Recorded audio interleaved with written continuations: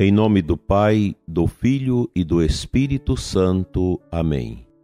Ave Maria, Virgem poderosa, Imaculada Conceição, Rainha das Vitórias, que as vossas lágrimas de sangue destruam as forças infernais que se levantarem contra o ouvinte do programa Oração da Manhã.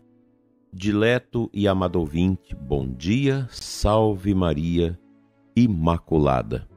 Que o seu sábado seja na luz e seja também o dia da sua preparação para a celebração da nossa Páscoa semanal amanhã na sua comunidade, na sua paróquia.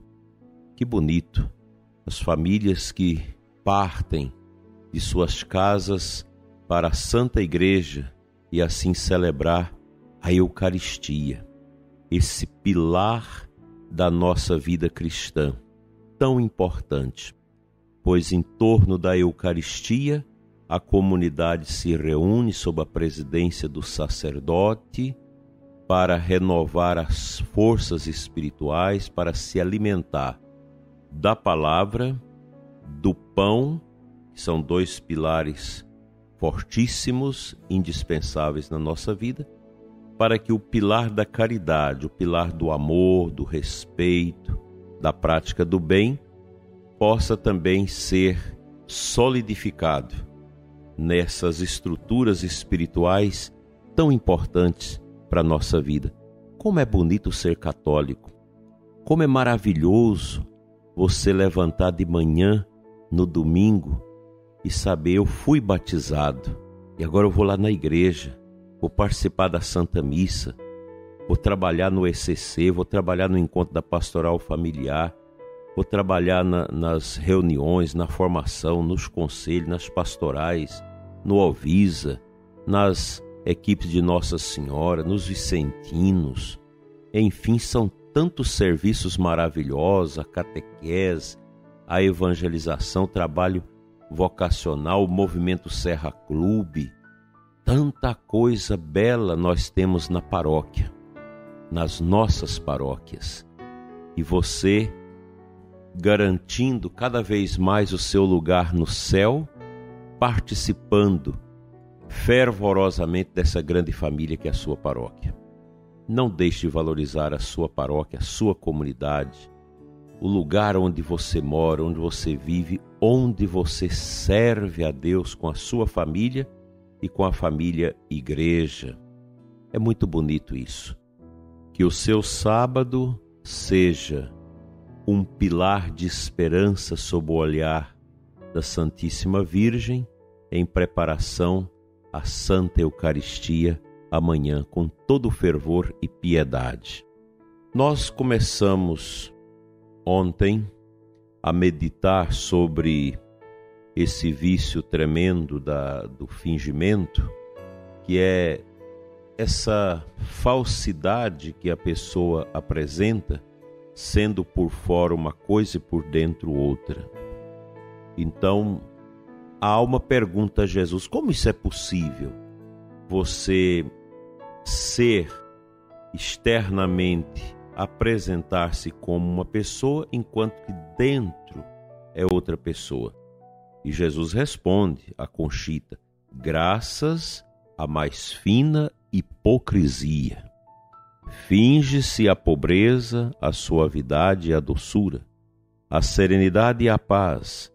Nesse campo desfruta-se o vício odioso do fingimento.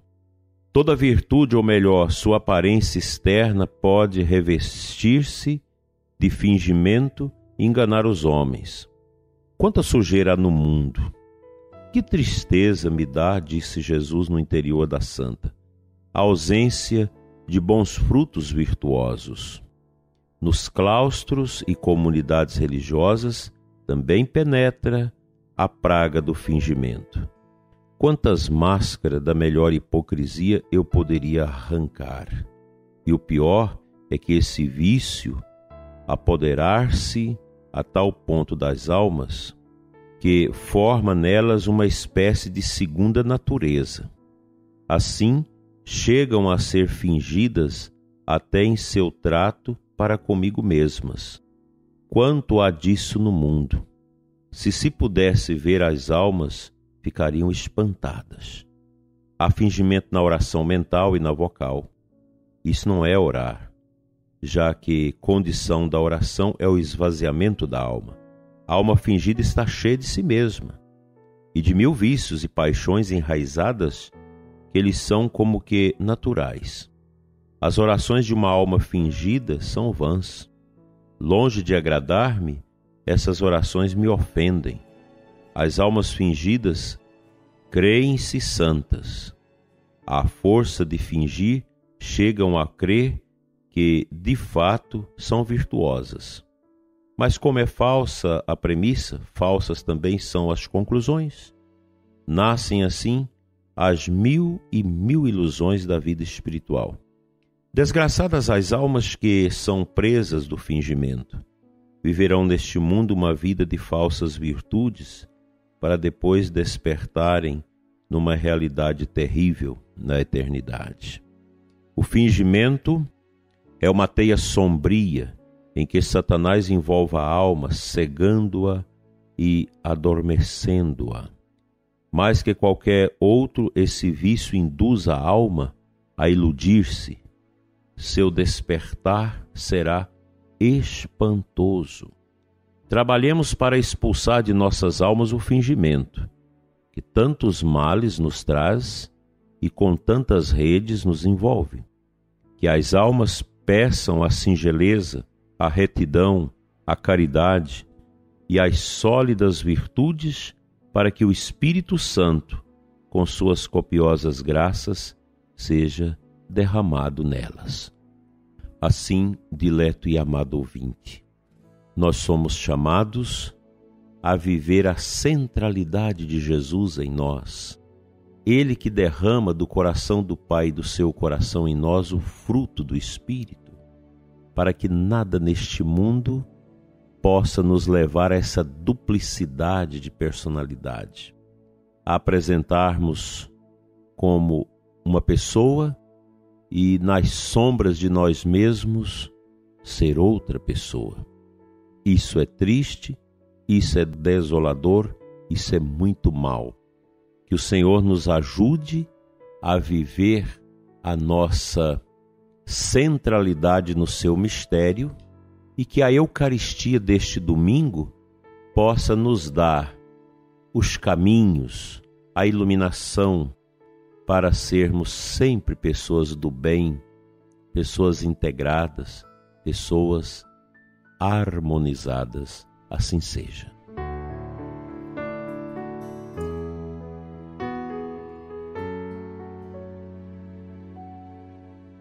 Compartilho com você Colossenses 2,12. É a antífona de entrada da Santa Missa de hoje, que está lá no Missal sepultados com o Cristo no batismo, fostes também ressuscitados com ele, porque crestes no poder de Deus que o ressuscitou dos mortos. Essa palavra muito forte do apóstolo Paulo, ela corrobora a necessidade do nosso coração desse permanente nascer de novo em Cristo, para vivenciarmos o segmento dele sem fingimento, sem máscaras, sem mentiras. O mundo vive na mentira. A nossa sociedade é mentirosa. Toda essa desconstrução do ser humano que a nova ordem mundial vai produzindo, que a falsa cultura vai criando, que a revolução marxista cultural vai impondo no mundo, ela não serve para nós cristãos, porque ela é um faz parte desse conjunto de um movimento sem Deus, ateu, materialista, relativista, que não cabe na jarra do coração do cristão, da pessoa que é batizada, que se tornou um vaso novo.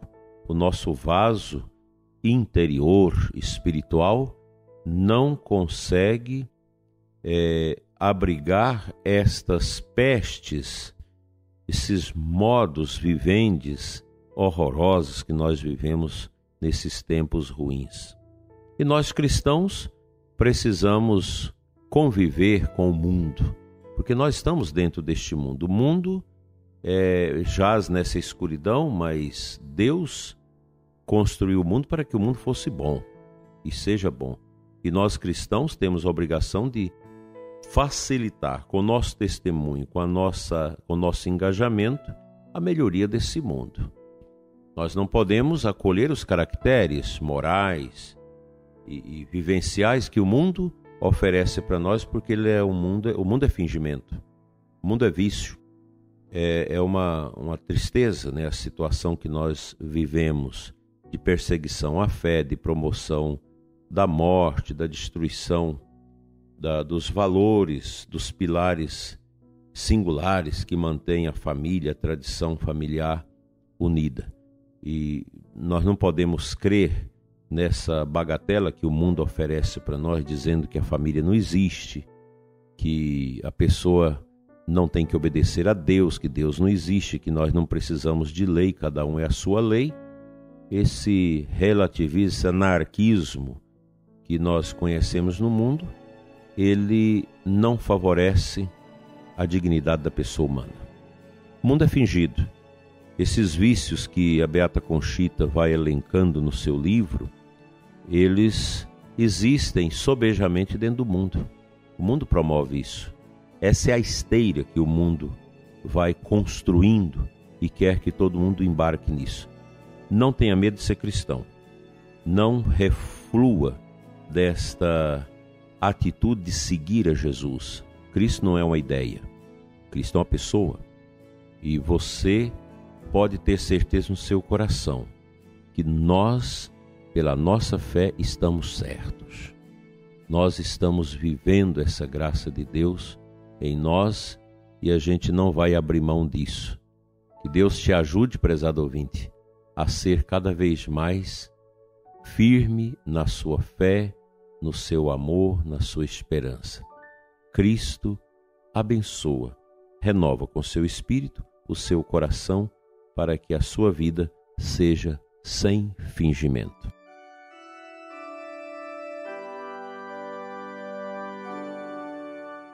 Deus de amor, Deus de poder, Pai das misericórdias eternas, abençoa o ouvinte deste programa Abençoa nossos sacerdotes, nossas comunidades, abençoa nossos serviços pastorais, serviços de evangelização, de catequese, serviços de caridade e justiça que a igreja realiza. Abençoa, Senhor, o ouvinte que neste final de semana está trabalhando nos serviços da igreja. Renova seu sentimento, seu coração para o serviço de amor ao reino de Deus. Abençoa os que estão doentes, idosos, os que não têm como mais trabalhar nos serviços da igreja, mas pode interceder a partir da sua cama de enfermo, da sua situação de velhice. Fica conosco, Senhor, hoje e sempre, e nos dê a saúde do corpo e a saúde da alma e muita fé para bem celebrar o teu dia.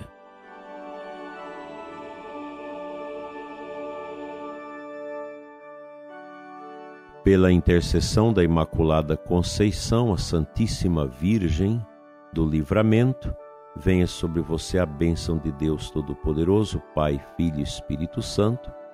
Que Deus te livre pelas mãos de Maria de todos os males, hoje e sempre. Amém. Até amanhã se Deus assim nos permitir. Um abençoado domingo para você e sua família.